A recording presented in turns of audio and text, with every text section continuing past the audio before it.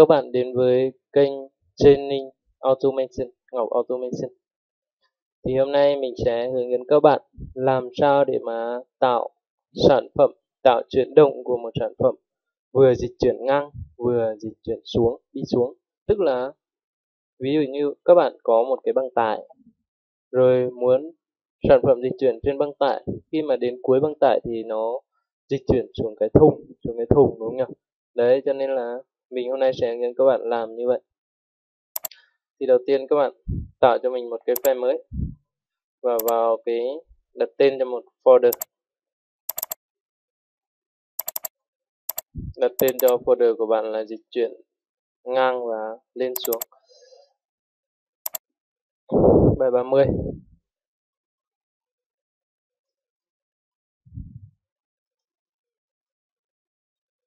xuống đúng không ok. Thì ở đây là signal project đi.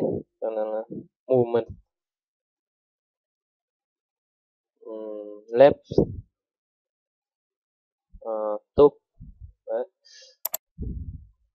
Thì chọn đến cái đường link mà các bạn lưu lên file tên thôi.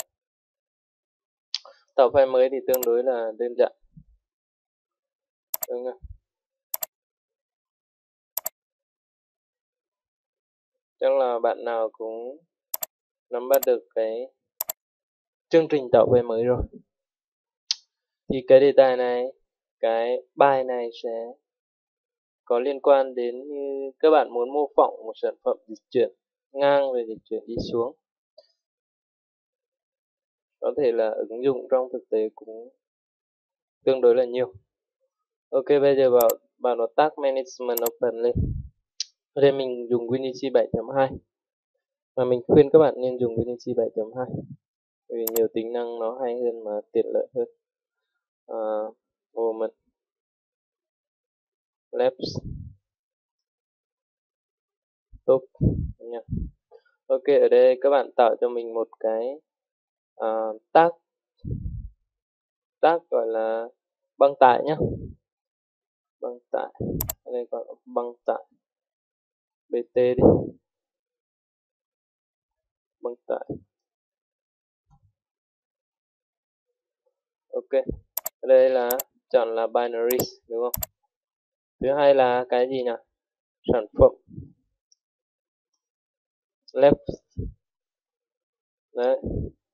Cũng là binary. Sản phẩm. Túc. Binary. Đấy rồi. Các bạn tạm thời là tạo cho mình ba cái tác như thế này. Tức là băng tải chuyển động này, rồi sản phẩm left, tức là chuyển động sang phải, sang trái này. Sản phẩm tốt là chuyển động lên xuống, đúng không nhỉ? Ok. Thì bây giờ các bạn vào graphic, tạo cho mình một cái file mới, graphic new picture. Và đặt tên cho file là woman. Left top Đó open nó lên.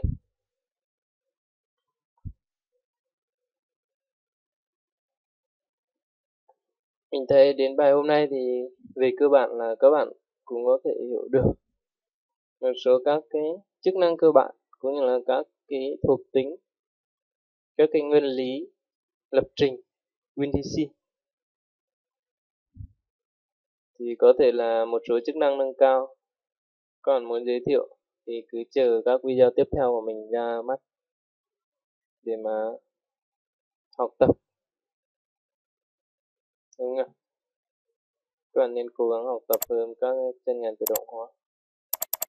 900 đây là thay đổi kích thước màn hình thôi 500 đấy. Thì bạn vào view này. Vào cái uh, turbo này và chọn library. Đây chọn là Siemens ETMA Symbol Library 1.4.1 đây thì tất cả, có tất cả các cái object cho các bạn lựa chọn. Ở đây conveyor, tức là mình chọn cái băng tải conveyor. Chọn cái kính là view này, rồi chọn cái đằng này làm nó xuất hiện. Đây, băng tải. Ở đây có băng tải như thế nào nhỉ? Đây, có một cái băng tải như thế này ok, mình lôi ra băng tải thôi. Các bạn kích đúc vào. Đây. Kích đúc vào, chọn lại băng tải này. Chọn styler là sang b này. Chọn transfer ok, chọn adjust tức là có thể thay đổi kích thước của nó đấy. Tức là không lấy kích thước mặc định nữa. Đúng không đây là một cái bằng tải. Tương đối là ok, đúng không cái này một tí.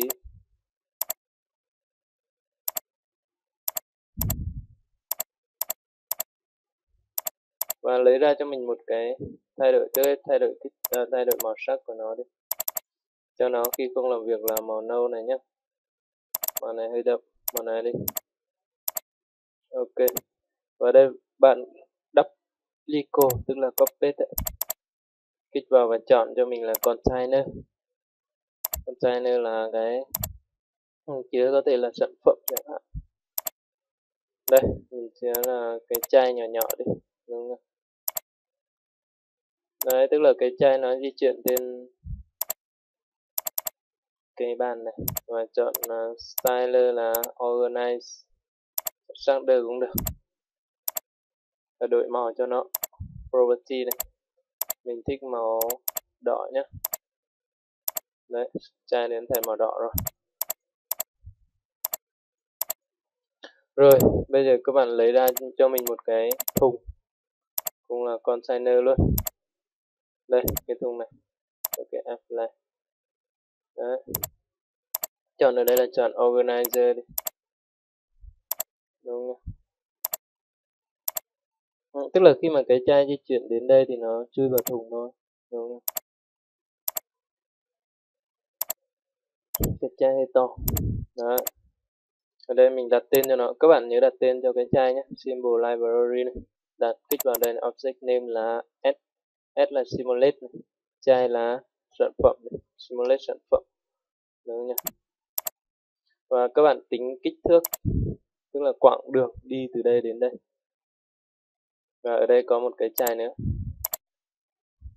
Tức là ở đây các bạn đặt tên s sản phẩm 1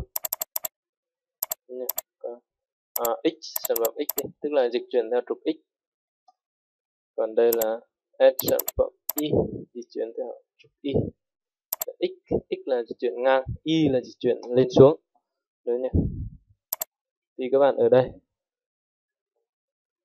Thì các bạn bắt đầu tính chiều dài. Mình lôi ra một static test để mà đặt chiều dài. Vị trí mặc định ban đầu của nó là x là 230 y là 124 các bạn đặt cho mình.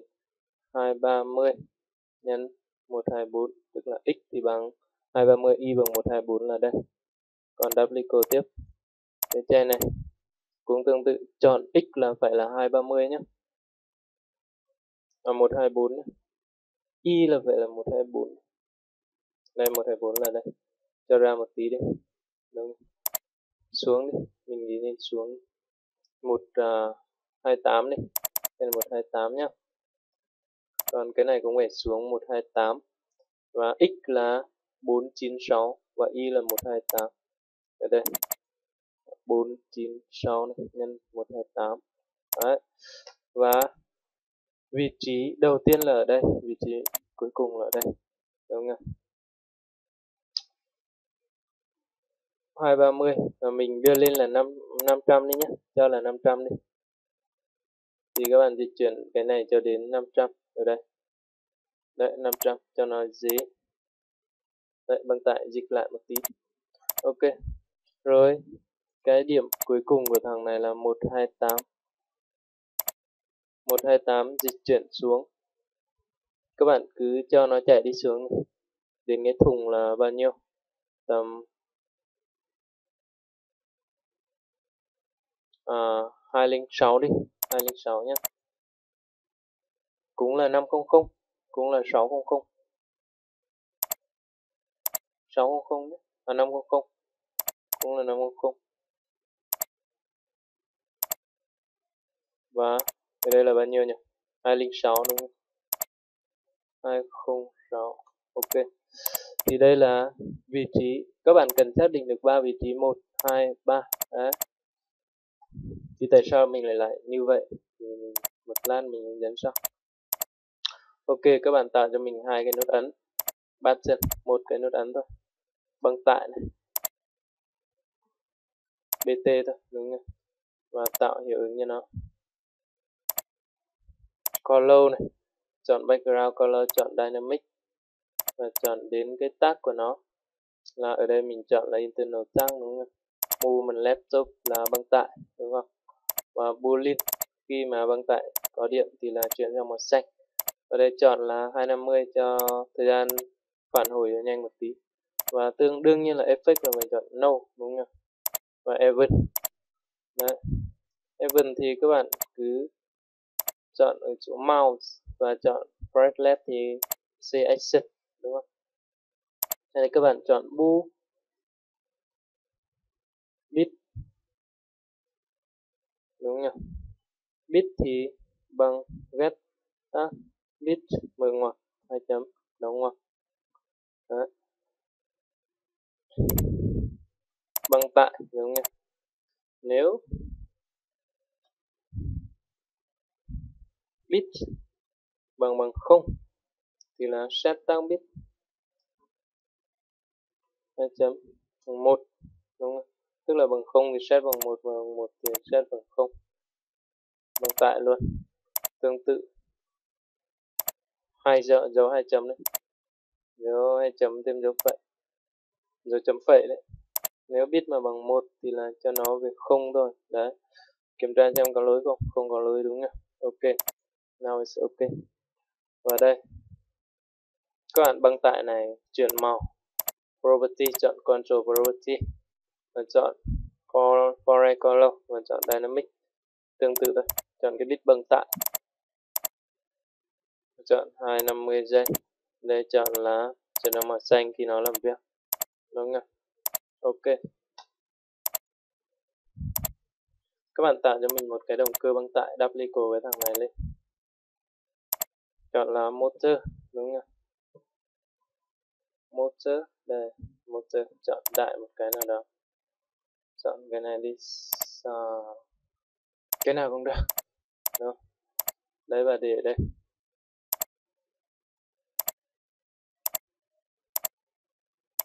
Thì đây là cái motor băng tải và cái nút ấn băng tải.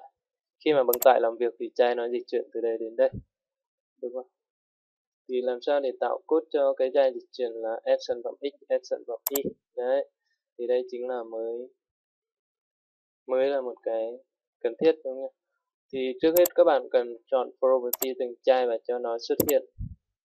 Ở phần này, này. control property à, chọn uh, miscellaneous chọn ở phần display thì display thì chọn cái display thì nó chọn phần tag này. Nó chỉ xuất hiện khi mà sản phẩm led bằng một. Đấy. Và tương tự cho thằng này, nó chỉ xuất hiện khi mà sản phẩm y sản phẩm chốt bằng một.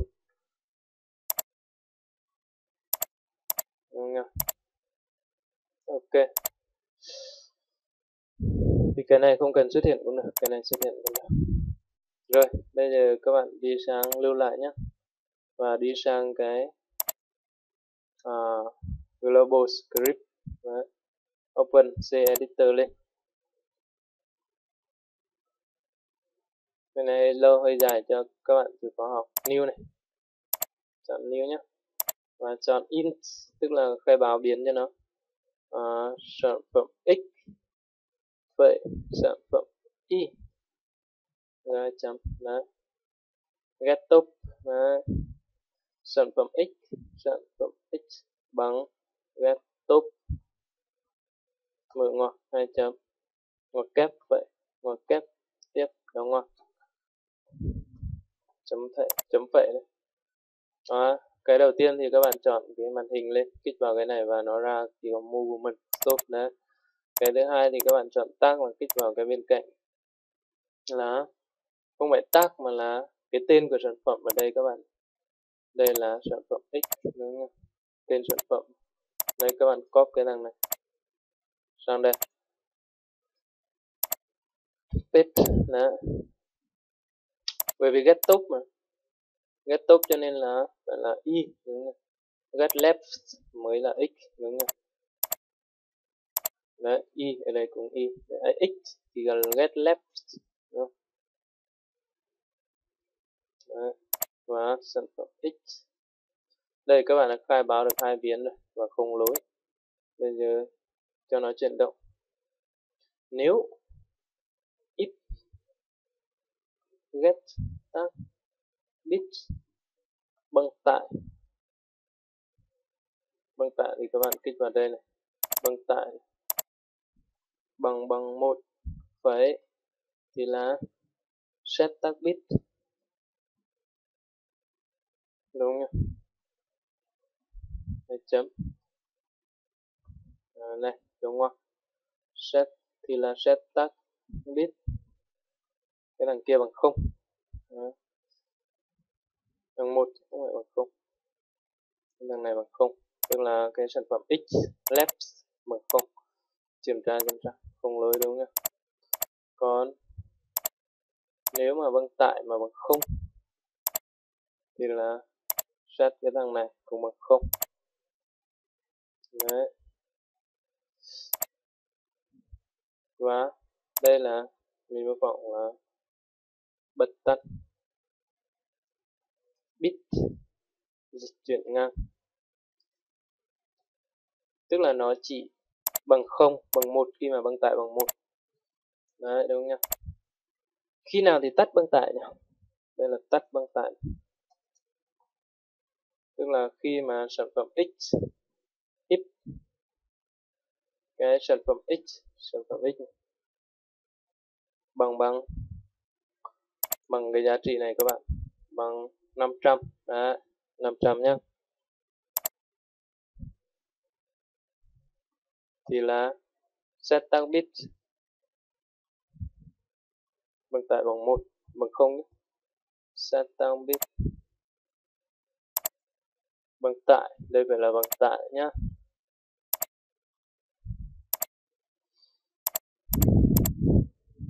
Khi nào thì bật cái bit thứ hai?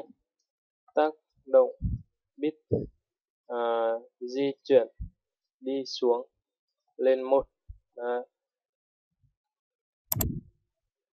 tức là nếu tương a và tác động và tác động cái bit di chuyển lên xuống lên một, tức là set tác bit luôn. Nốt tiện ở đây luôn, đúng không di chuyển lên xuống là cái bit này. Bit sản phẩm tốt, đấy. Và khi nào thì tắt cái sản phẩm tốt đi, tức là if. Sản phẩm y mà bằng bằng, cái này lớn hơn hoặc bằng đi các bạn. Lớn hơn hoặc bằng. Cái này cũng lớn hơn hoặc bằng bằng bằng bao nhiêu? Bằng bằng 206 nhớ là lấy giá trị y nhé 206 chứ không phải là 500 nữa nhé. Bằng 206 đúng không thì là set tăng bit cái thằng này bằng 1 à bằng 0 cái thằng sản phẩm tốc bằng 0 đấy, bây giờ là hoàn thành xuống. Hoàn thành bật tắt các bit rồi. Và đây là di chuyển này. Di chuyển thì các bạn nếu mà nếu mà cái bit này bằng một, if get chắc bit này. Sản phẩm x mà bằng một thì x left bằng một thì là sản phẩm x bằng sản phẩm x cộng 2 đi nhá. Đấy. Đấy. Và set left. Màn hình, vậy. Đối tượng, vậy. Dịch chuyển sản phẩm x. Đóng ngoặc hàng chấm vậy. Đây là s sản phẩm x. Sang đây là màn hình này. Đấy thấy chưa nhỉ còn nếu mà cái này mà bằng không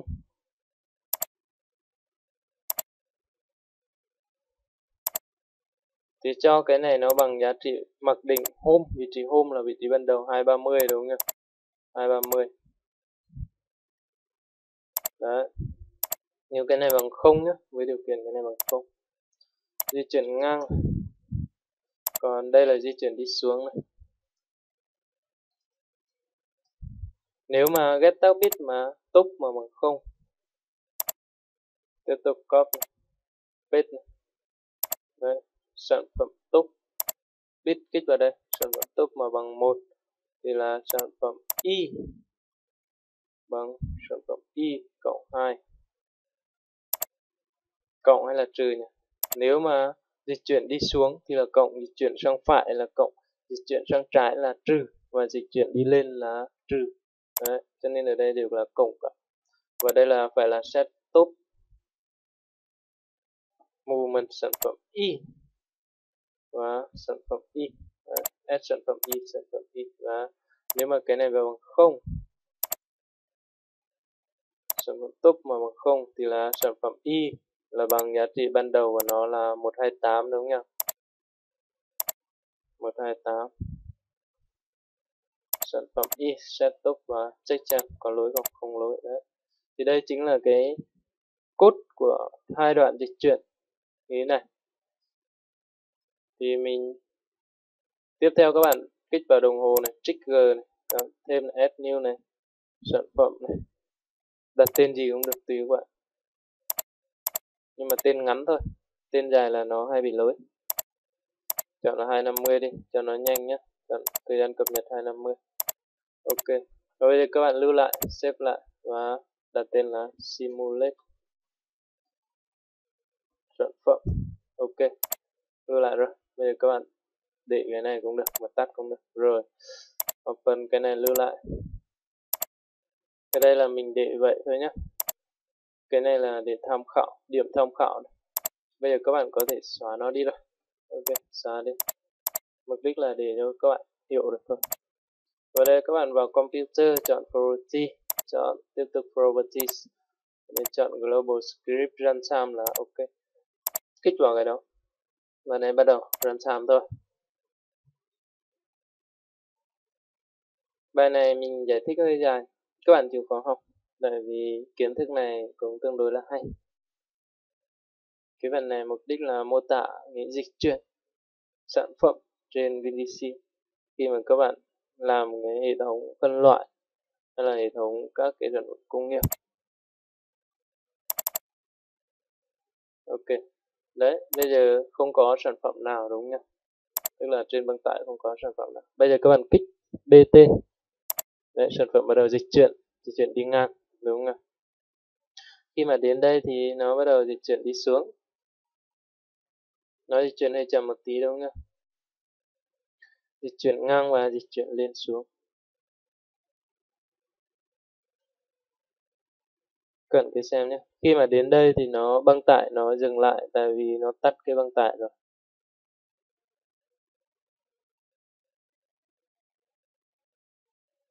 Bắt đầu nó đi xuống.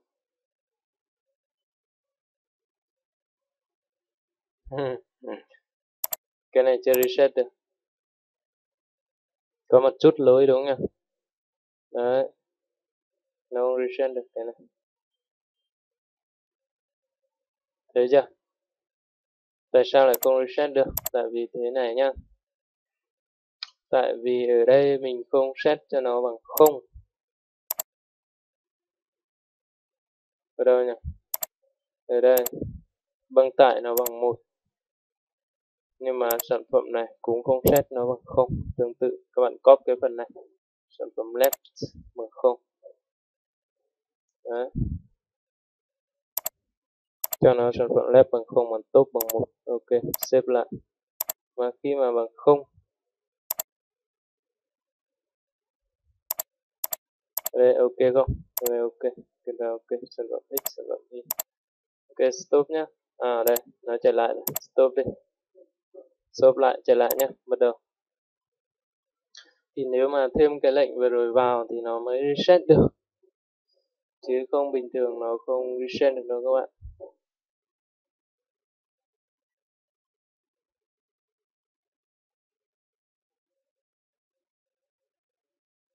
Đây, nó bắt đầu dịch chuyển. Dịch chuyển đến cái đến cái giá trị này. Thì là nó bắt đầu đi xuống thôi.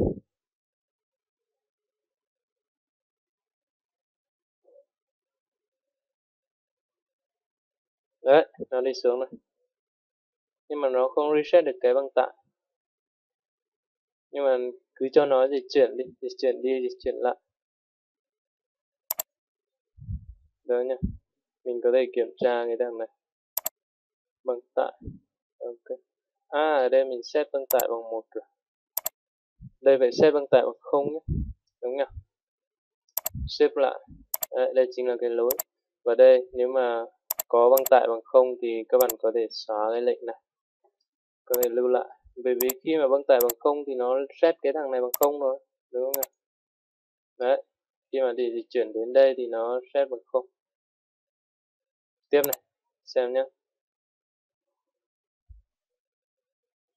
thì đây cũng là một cái hình thức, cũng là phương thức để mà các bạn mô tả cái hệ thống công nghiệp như là sản phẩm dịch chuyển trên băng tải hay là mô phỏng cái gì đó nó dịch chuyển thì có thể hiểu được.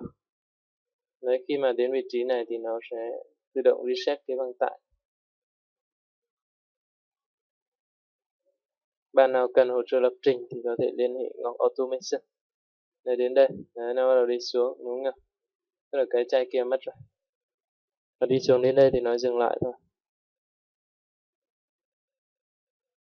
Đấy, tiếp tục.